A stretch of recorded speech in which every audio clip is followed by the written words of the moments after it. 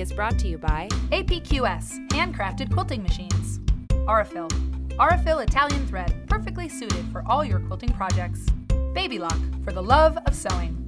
Havel's Sewing. When you need to cut it close, choose Havel's. Moda, make something quilty with Moda fabrics. Everybody, thanks for watching Quilty. I'm Mary Fons, I'm your host, and today on the show we have a Quilty Fantastic episode. We call them fantastic episodes because our fans are so great at suggesting shows that they want to see. So Sarah Jane, this one's for you. Do you use steam in your iron? It's like the question. It's one of the many questions that beginner quilters have. Like, do you use steam? You use steam when you press clothes. You often use moisture of some kind when you're pressing yardage, like you get it back from the quilt shop and you need to, you know, you need to iron it out and make it flat before you cut it. But after you cut your pieces and you're putting together your patchwork and your blocks, do you use steam? We're going to answer that question today. All right, so here is a piece of fabric. It is a square. I have cut it from a lovely houndstooth uh, Moda print that is just all the rage. And um, I want to tell you what warp and weft is. We've talked about it before, but I'm going to give you a really easy way to understand and remember what warp and weft is because that is part of the answer to the question about steam. Okay, when you have a piece of fabric like this that you're using in quilting, it's cotton broadcloth. And cotton broadcloth is woven fabric, okay? So on the big fabric making machines in the big you know, fabric manufacturers in the sky or whatever, when they are making fabric, they have warp threads on the big, big, big looms, and they have weft threads on the big, big, big looms. And the way you can remember it, I thought of this myself. Warp is up and down. Okay, I can't remember that. But weft is like east and weft, east and weft east and weft. So right, you can remember now, east and weft. So that's how you know, like warp and weft is up, or warp is up and down, weft is uh, right and left. So it's woven and it's really tight. I mean, cotton fabric is woven and it's really pretty strong, but it's not indestructible. And if you pull it and if you stretch it and if you get it really wet and then you pull it and stretch it, it is not going to keep its shape. I talked to my mom, Marianne Fons, very good quilter, about this. She had a great analogy. She's like, you know, if you ever use hair curlers and you, you like use steam curlers in your hair, ladies, ladies, uh, you have like they're hot rollers and you wrap your hair around them and then your hair dries around those curlers and then it sets, right? It sets and it like dries and it sets. So when you take the curler out, it's it's in a different shape. Totally the same with fabric. So if I am using a lot of steam and I'm pressing and getting this piece of fabric wet, the warp and the weft start doing crazy things like this. Dun, dun, dun, dun. Yikes, look at this. Seriously, what happened to this? Well, steam happened to this. This is the same uh, piece of fabric. It's the same dimensions. I cut the same square out of the same fabric, and then I really manhandled it with a lot of steam in my iron. I took it to the pressing service, steam, steam, steam, steamed it up, and really smushed it back and forth with that steam. The fabric got wet, then it got hot, and then it dried. And it dried really stretchy.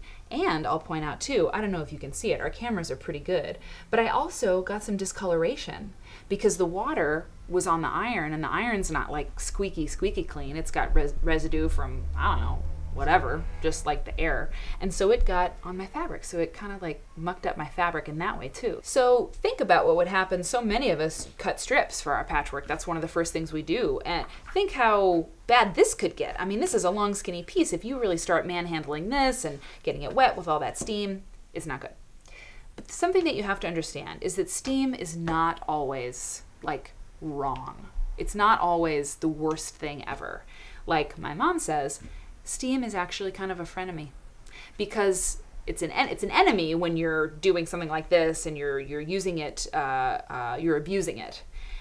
But once you have a block finished, you know, you have your quilt block or you have a you know a unit of some kind, a little bit of steam, or even more specifically, a little bit of moisture can help set that block because you do want to set certain things. Once your block is finished or once your quilt top is finished and you're really pressing it to get it nice for machine quilting, setting it can be okay. But this is where our sort of last tip comes in, Sarah Rice and all the rest of you who wonder these things.